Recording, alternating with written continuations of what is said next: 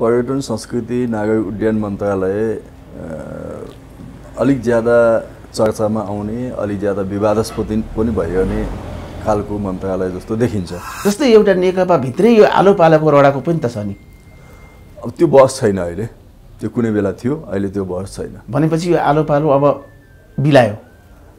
त्यो कुनै बेला आएछ भने त्यही बेला छलफल गरौँला। यो आलो पालो भन्ने चिज चाहिँ संविधानले कानुनले देख्छ कि देख्दैन? देखेछ भने पनि छलफल गरौँला देखेनछ भने राजनीतिक हिसाबले पार्टीभित्र छलफल गरौँला भनेपछि आलो पालो भन्ने पार्टीमा अब रहेन। रह्यो अथवा रहेन भनेर मैले डिक्लेयर गर्ने पनि होइन। म त्यो हैसियतको मान्छे पनि होइन। तर त्यो विषयमा पार्टीमा कुनै छलफल भएछ भने त्यो बेला नै हामीले आफ्ना धारणाहरू बताउँछौँ। अहिले यस्ता कुरालाई अगाडि सारेर सरकारलाई कमजोर बनाउने अस्थिर बनाउने र पार्टी र सरकारको बिचको सम्बन्धलाई अलिकति कमजोर बनाउने खालका अभिव्यक्ति अथवा गतिविधि हामीले गर्नुहुन्न। यदि त्यो दुखी पेसा हो एकदम गाह्रो छ अप्ठ्यारो छ भने म किन यहाँ आउनु पर्थ्यो म अर्को काम गर्नु गइ भइहाल्थ्यो। रविन्द्रजीले धेरै महत्त्वपूर्ण कामहरू गर्नुभएको छ।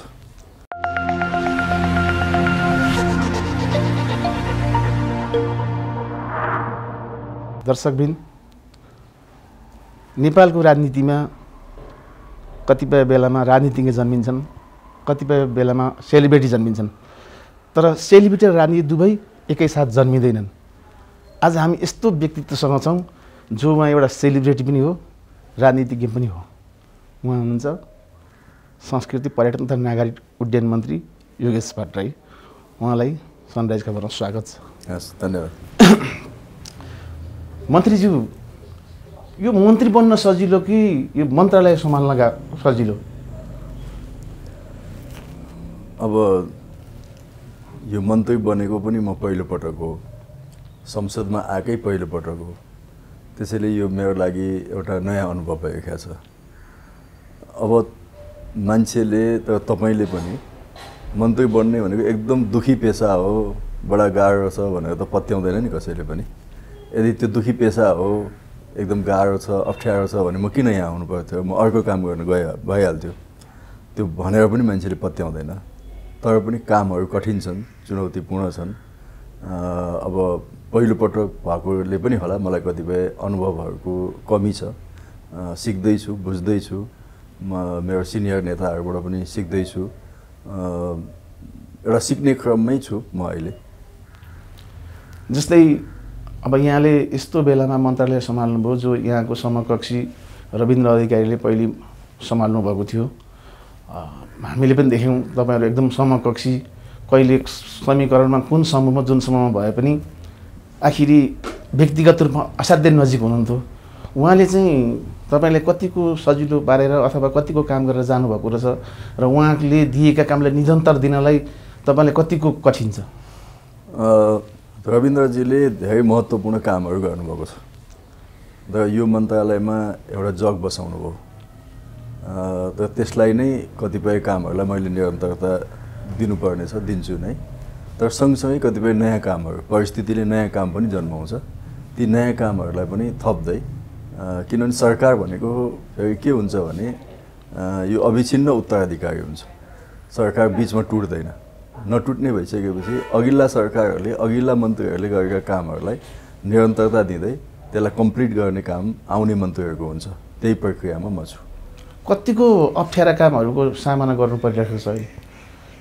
होइन अब यो पर्यटन संस्कृति नागरिक उड्डयन मन्त्रालय अलिक ज्यादा चर्चामा आउने अलिक ज्यादा विवादास्पद पनि भइरहने खालको मन्त्रालय जस्तो देखिन्छ।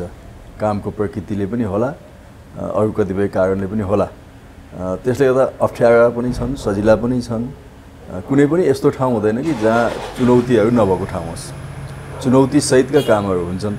त्यसो हुँदा त्यहाँ चाहिँ केही अप्ठ्यारा परिस्थितिहरू पक्कै पनि छन्। अब ठुल्ठुला चाहिँ खास गरिकन यो राष्ट्रिय गौरवका आयोजनाहरू सम्पन्न गर्नुपर्ने छ एयरपोर्टहरू विशेष गरी गौतम बुद्ध अन्तर्राष्ट्रिय विमानस्थल पोखरा अन्तर्राष्ट्रिय विमानस्थल त्यस्तै निजगढ अन्तर्राष्ट्रिय विमानस्थल यी कामहरू राष्ट्रिय गौरवका आयोजनाभित्र पर्छन्। त्यस्तै हाम्रो चाहिँ त्रिभुवन अन्तर्राष्ट्रिय विमानस्थलको सुदृढीकरण पनि राष्ट्रिय गौरवभित्र पर्छ। यी कामलाई सम्पन्न गर्नुपर्ने छ अर्को त अब भ्रमण वर्ष दुई हजार बिस हाम्रो सन्निकट छ र त्यसलाई दुई लाख बिस लाख पर्यटकहरू नेपालमा भित्राउने जुन हाम्रो लक्ष्य छ त्यो लक्ष्यलाई पुरा गर्न गर्नुपर्ने पूर्व तयारीहरू धेरै छन्।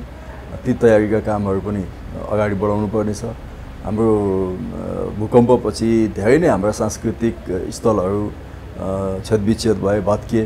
त्यसको पुनर्निर्माणको काम अगाडि बढ्दैछ।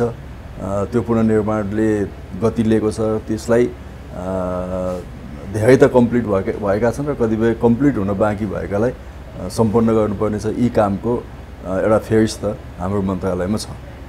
जस्तै कतिपय विमानस्थलको कुरो गर्नुभयो तिनमा अलिअलि अब विवादका विषयहरू छन् जस्तै निजगढ विमानस्थलमा वातावरणका कुरा छन् पोखरा विमानस्थलमा त्यसले धान्न सक्दैन कि भन्ने विषयहरू छन् तिनले चाहिँ कतिको स्तर अध्ययन गर्नु अब निजगढको सम्बन्धमा त हामीले यो मैले निर्णय गरेको पनि होइन कुनै अर्को पूर्व मन्त्रीले निर्णय गरेको पनि होइन।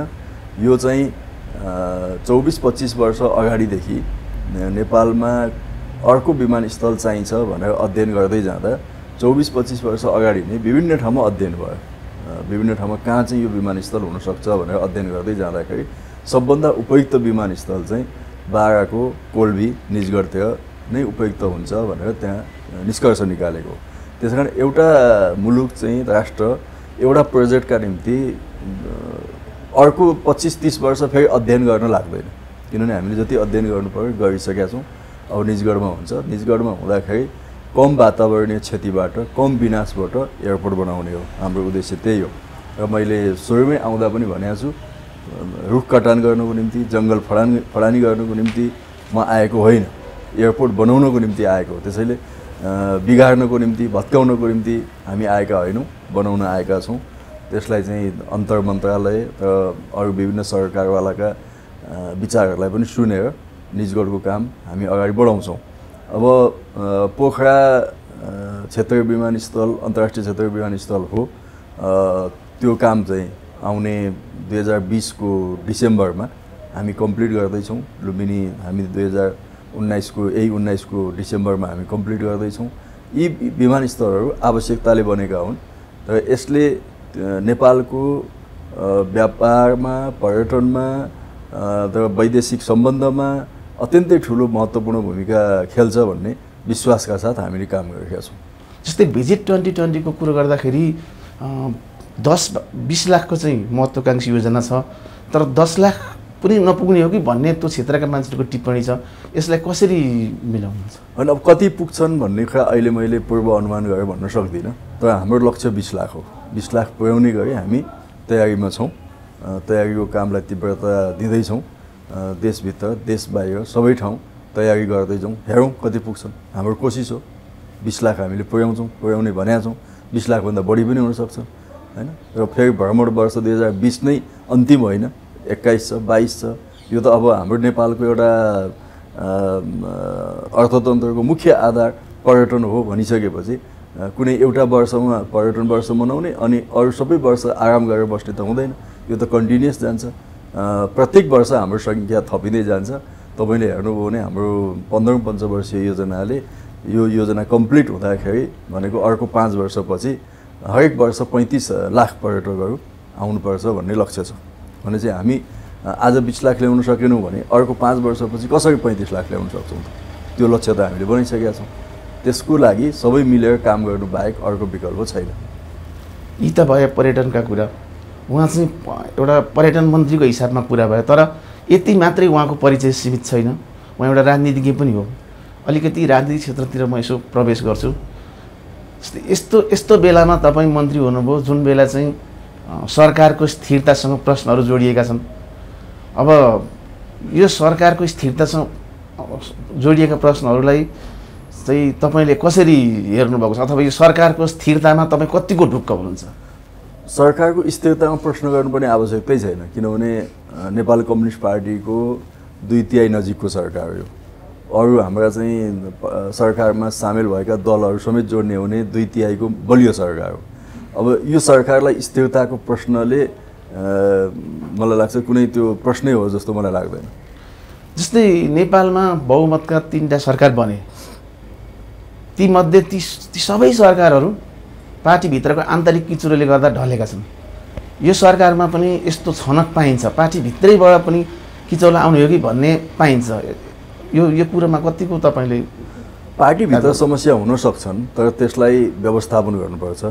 त्यसमा पनि अहिले हाम्रो पार्टी त नेताहरूको पनि नेता पार्टी हो। नेताहरूकै ठुलो समूह छ हाम्रोमा। होइन अब अहिले भन्नुहुन्छ भने अहिले वर्तमान प्रधानमन्त्रीज्यू भइहाल्नुभयो। अरू तिनजना नेता त पूर्व प्रधानमन्त्री नै हुनुहुन्छ हाम्रो पार्टीमा। र अरू त्यो हैसियत राख्ने पनि थुप्रै नेताहरू हुनुहुन्छ। भनेपछि नेताहरूको एउटा विशाल पङ्क्ति भएको यो पार्टी हो। नेताहरूको व्यक्तित्व हुन्छ नेताहरूको आकाङ्क्षाहरू हुन्छन् नेताहरूको प्रभाव हुन्छ। ती सबै कुरालाई व्यवस्थित ढङ्गले व्यवस्थापन गर्दै अगाडि जानु बाहेक आज नेकपासँग अर्को विकल्प छैन किनभने हामीलाई इतिहासले नेपाली जनताले ठुलो मौका दिएका छन्। यो मौका हाम्रो आन्तरिक कारणले चुकाउनु हुँदैन हाम्रो आन्तरिक कमजोरीहरूले यो मौका गुमाउनु हुँदैन। र हाम्रो अयोग्यताले मुलुकले दुःख पनि पाउनु हुँदैन। त्यस कारणले हामी योग्यतापूर्वक हाम्रा पार्टीका चाहिँ आन्तरिक समस्यालाई पनि व्यवस्थापन गर्दै नेतृत्वको बिचमा पनि एउटा सुदृढ र हार्दिक एकता निर्माण गर्दै सिङ्गो पार्टीलाई एकताबद्ध गर्दै हामी अगाडि जान्छौँ। जस्तै एउटा नेकपा भित्रै यो आलो पालोको रडाको पनि त छ नि। अब त्यो बहस छैन अहिले। त्यो कुनै बेला थियो अहिले त्यो बहस छैन। भनेपछि यो आलो पालो अब बिलायो। त्यो कुनै बेला आएछ भने त्यही बेला छलफल गरौँला। यो आलो पालो भन्ने चिज चाहिँ संविधानले कानुनले देख्छ कि देख्दैन? देखेछ भने पनि छलफल गरौँला देखेन छ भने राजनीतिक हिसाबले पार्टीभित्र छलफल गरौँला भनेपछि यो आलो पालो भन्ने पार्टीमा अब रहेन। रह्यो अथवा रहेन भनेर मैले डिक्लेयर गर्ने पनि होइन। म त्यो हैसियतको मान्छे पनि होइन। तर त्यो विषयमा पार्टीमा कुनै छलफल भएछ भने त्यो बेला नै हामीले आफ्ना धारणाहरू बताउँछौँ। अहिले यस्ता कुरालाई अगाडि सारेर सरकारलाई कमजोर बनाउने अस्थिर बनाउने र पार्टी र सरकारको बिचको सम्बन्धलाई अलिकति कमजोर बनाउने खालका अभिव्यक्ति अथवा गतिविधि हामीले गर्नुहुन्न। नेताहरूको बिचमा एउटा बलियो सम्बन्ध स्थापित गर्नुपर्छ।